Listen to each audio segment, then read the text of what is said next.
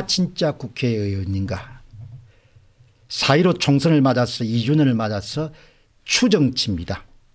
예, 이건 확정된 사실이 아니고 사전투표 조작에 의해서 누가 진짜 국회의원인가 누가 가짜 국회의원인가 한번 여러분들 살펴보도록 하겠습니다.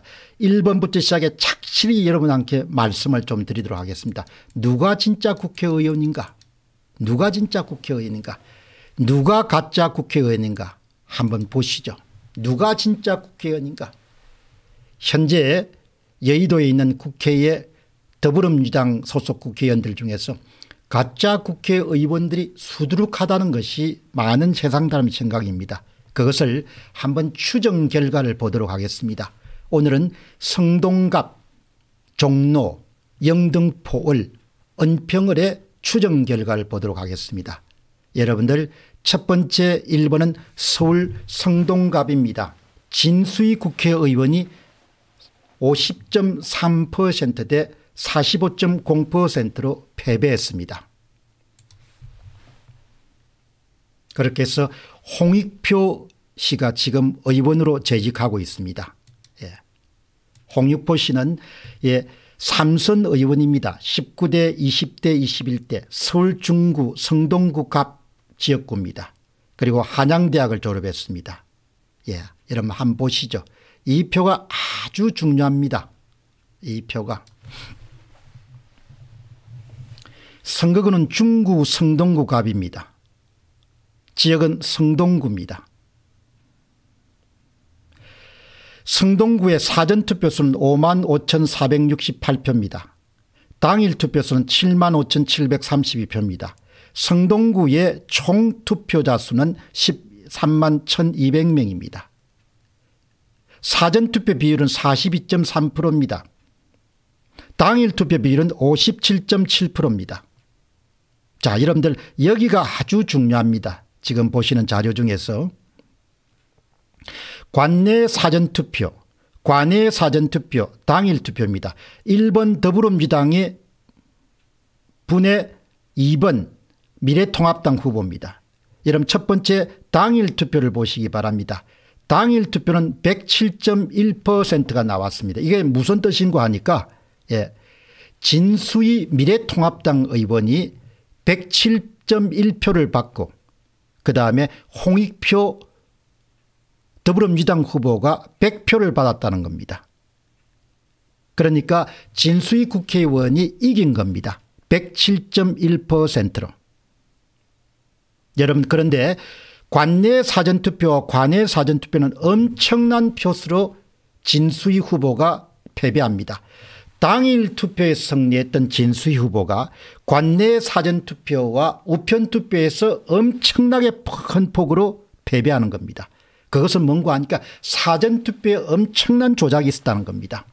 자, 관내 사전투표가 178%가 나왔습니다. 쉽게 이야기하면 진수희 씨 후보가 100, 100표를 얻는 사이에 관내 사전투표에서 홍익표 더불어민주당 후보가 178표를 얻은 겁니다.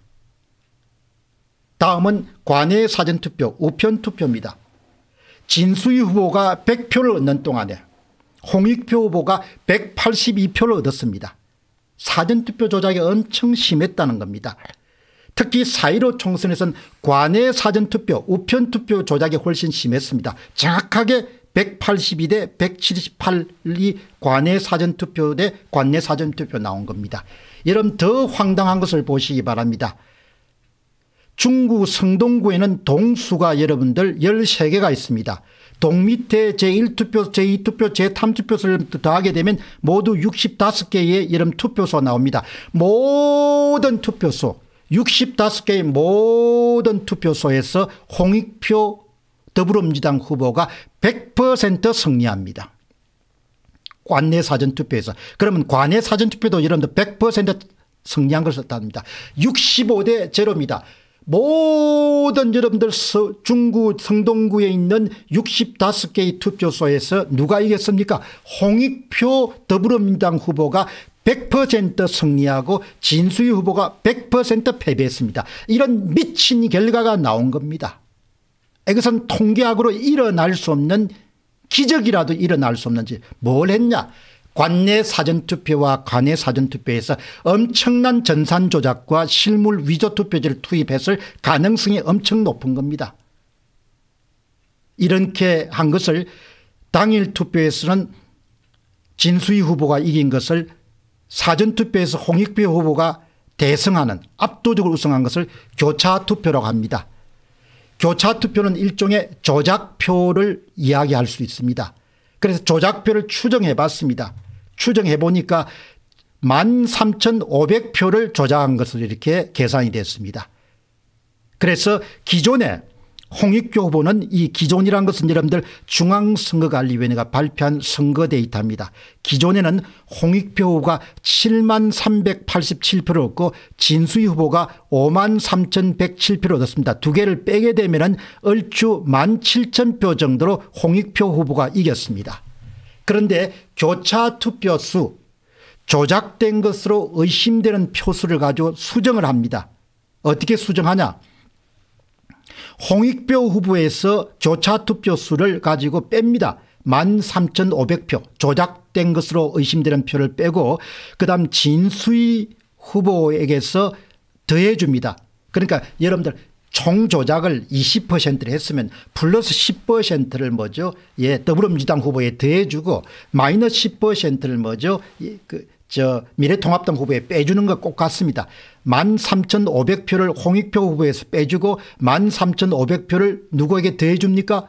예, 진수희 후보에게 더해주게 되면 선거관리위원회 발표한 7만 표 대 5만 3천 표는 어떻게 바뀌냐. 예, 홍익표 후보가 5만 6,887표로 내려앉고 진수희 후보가 6만 6,607표로 이기는 겁니다. 만 표 차이로 진수희 후보가 승리하는 겁니다. 이런 결과가 서울의 도처에서 일어나는 겁니다. 그래서 더불어민주당의 사이로 총선을 통해서 당선된 국회의원들 가운데 가짜가 우글우글 하는 겁니다. 특히 서울 경기 지역에 우글우글 하는 것으로 의심되는 겁니다. 기존의 당선자는 홍익표 더불어민주당입니다. 진수희 씨는 뭐죠 변경하게 되면 조작된 것을 수정하게 되면 미래통합당 후보가 당선되는 겁니다. 여러분 이 결과가 바로 한 독자가 교차 투표수를 교차 투표수 조작 투표수 그러니까 당일 투표를 정상으로 가정하고 그 다음에 관내 사전투표와 관내 수정투표에서 조작된 투표지 수 이른바 교차 투표수를 구한 다음에 교차 투표수를 교정해 주니까 결국은 중앙선거관리위원회가 발표한 것은 홍익표 7만 표 대 진수희 5만 3천 표가 조작된 표수를 교정하니까 5만 6천 표 대 6만 6천 607표로 바뀌게 되는 겁니다. 붉은색은 진수희가 승리한 것을 이렇게 거짓말을 해가지고 대놓고 국민을 우롱한 것이다. 이렇게 보는 겁니다.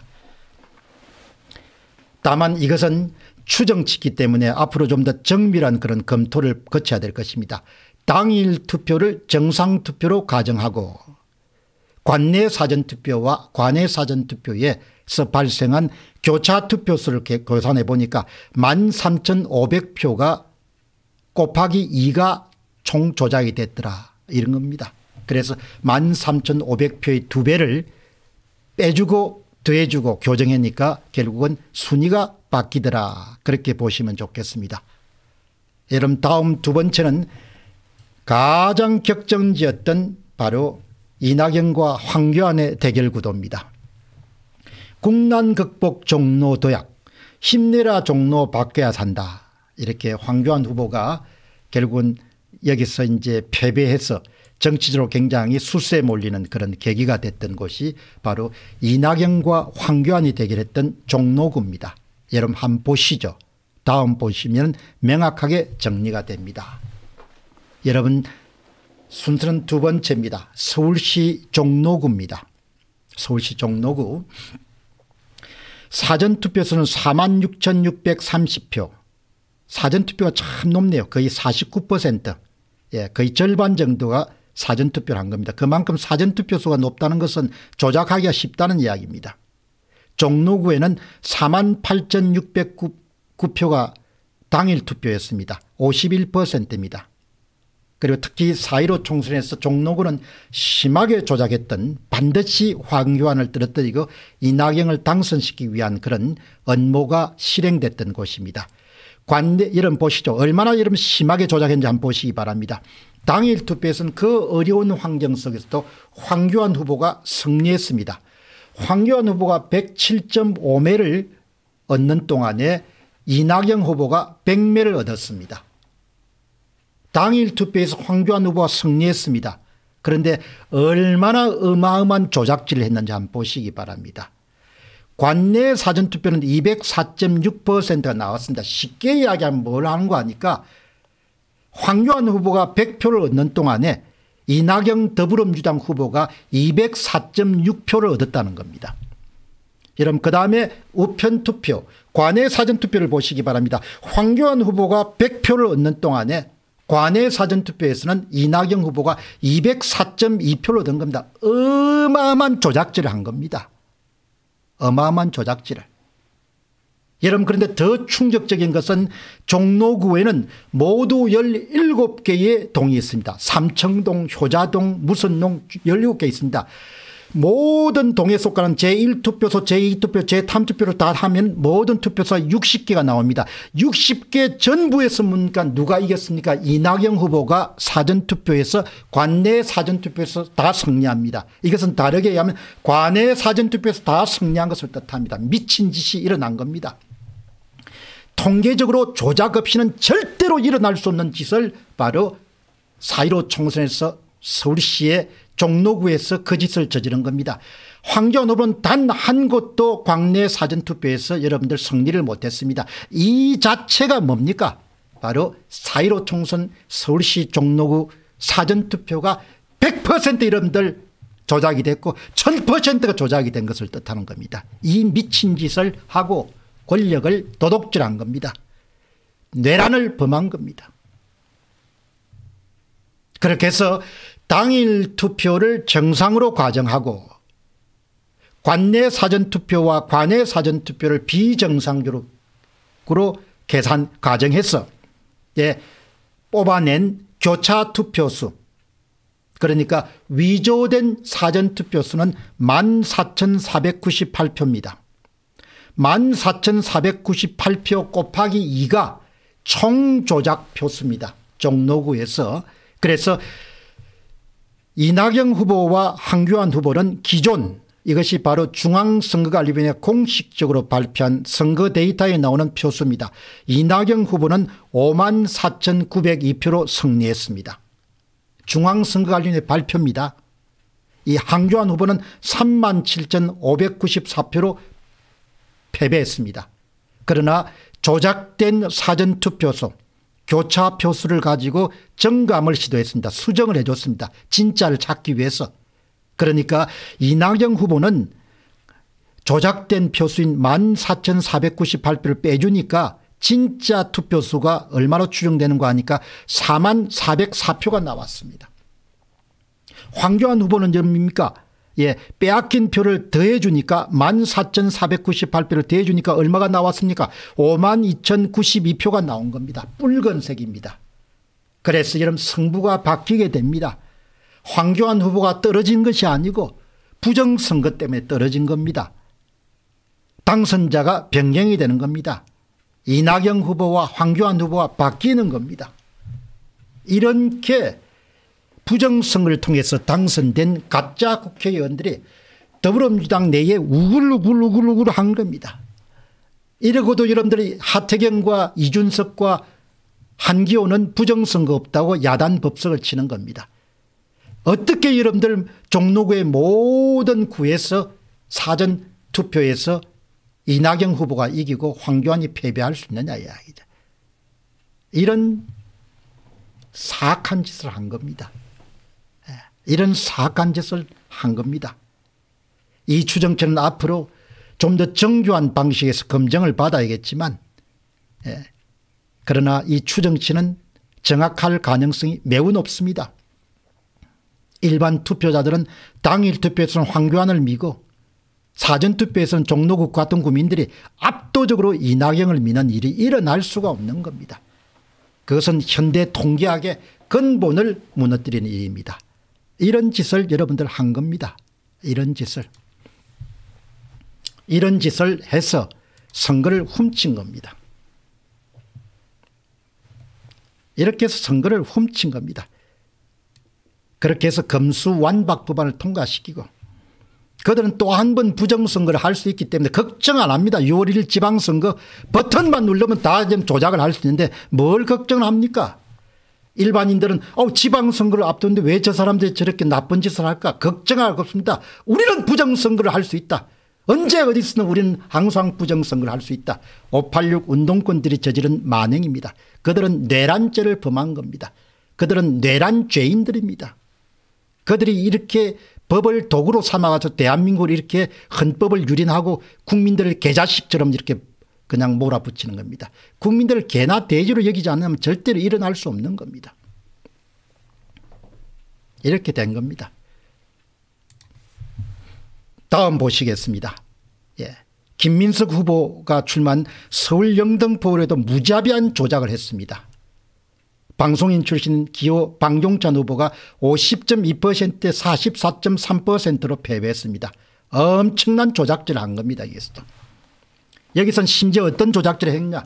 서울 남부지방법원에 보관 중인 투표함 자체까지 손을 댄 증거들이 나오고 있지 않습니까 법원에 보관 중인 투표함을 끄집어내 가지고 다시 그게 그냥 쑤셔 넣은 겁니다. 그런 짓을 의심받을 수 있는 것이 바로 투표함을 보관하고 있는데 뭔가 봉인지를 붙은 것이 그게 그게 완전히 옛날 거하고 다른 거 아닙니까 이렇게 지금 상황이 발생하는 겁니다.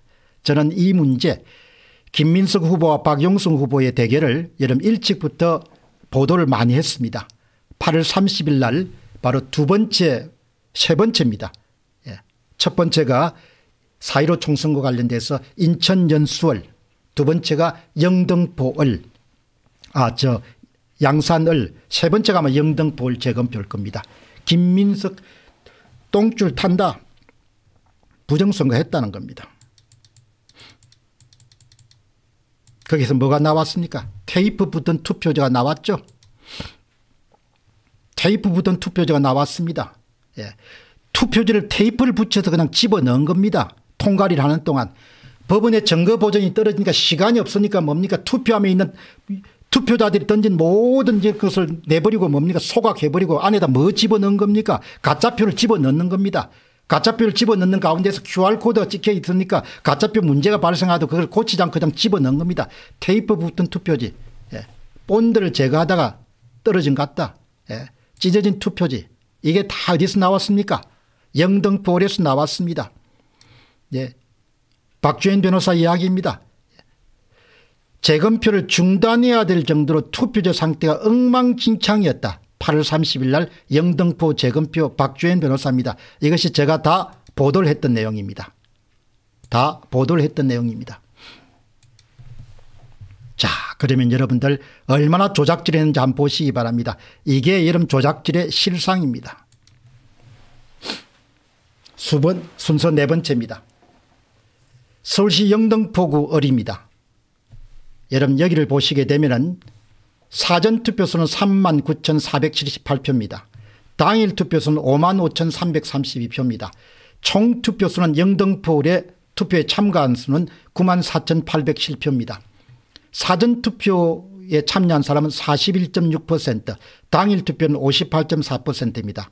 종로보다 훨씬 더 낮습니다. 그러나 여러분만 보시기 바랍니다.